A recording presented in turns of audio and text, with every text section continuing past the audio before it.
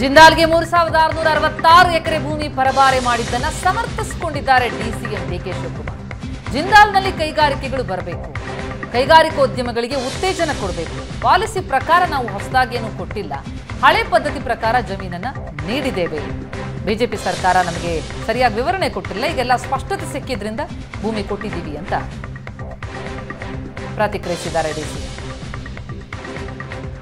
ನಮಗೆ ಇಂಡಸ್ಟ್ರೀಸ್ ಬರಬೇಕು.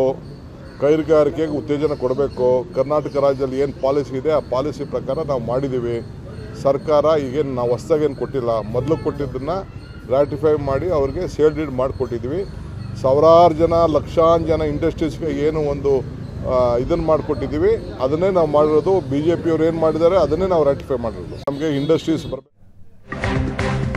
ಜಿಂದಾಲ್ಗೆ ಭೂಮಿ ನೀಡಿದ್ದನ್ನ ಗೃಹ ಸಚಿವ ಪರಮೇಶ್ವರ್ ಕೂಡ ಸಮರ್ಥಿಸಿಕೊಂಡಿದ್ದಾರೆ.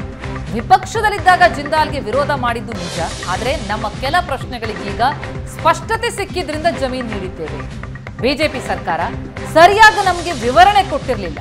ಈಗ ಎಲ್ಲ ಸ್ಪಷ್ಟತೆ ಸಿಕ್ಕಿರೋದ್ರಿಂದಾಗಿ ಜಿಂದಾಲ್ಗೆ ಭೂಮಿ ನೀಡಿದ್ದೇವೆ ಅನ್ನೋದು ಪರಮೇಶ್ವರ್ ಸ್ಪಷ್ಟತೆ. ಹಿಂದೆ ಇದೆ ನೀವು ಕಾಂಗ್ರೆಸ್ ಅಲ್ಲಿದ್ದಾಗ ವಿರೋಧ ಮಾಡಿ ಹೌದು. ನಾವು ವಿರೋಧ ಮಾಡಿದ್ದು ನಮಗೆ ಅನೇಕ ರೀತಿಯಲ್ಲಿ ಕೆಲವು ಪ್ರಶ್ನೆಗಳನ್ನು ಅವತ್ತು ಎತ್ತಿದ್ದು ಆ ಪ್ರಶ್ನೆಗಳಿಗೆಲ್ಲ ಈಗ ಉತ್ತರ ಸಿಕ್ಕಿದೆ. ಕೋರ್ಟ್ ಕೂಡ ಆದೇಶ ಮಾಡಿದೆ. ಕೋರ್ಟ್ ಡೈರೆಕ್ಷನ್ಸ್ ಕೊಟ್ಟಿರುವಾಗ ರೀ ಎಕ್ಸಾಮಿನ್ ಮಾಡಿ.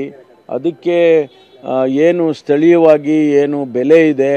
ಆ ಬೆಲೆ ಒಂದು ಲಕ್ಷ ಐವತ್ತು ಸಾವಿರ ಬೆಲೆಯನ್ನು ನಿಗದಿ ಮಾಡಿ.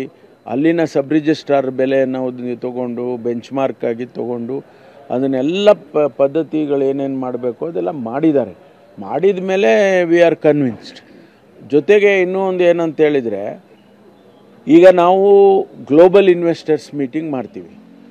ಇಡೀ ವಿಶ್ವದಿಂದ ಅನೇಕ ಜನ ಕೈಗಾರಿಕೋದ್ಯಮಿಗಳನ್ನು ಅಥವಾ ಇನ್ವೆಸ್ಟರ್ಸನ್ನು ನಾವು ಇಲ್ಲಿ ಕರಿತೀವಿ. ಪ್ರಪಂಚದಾದ್ಯಂತ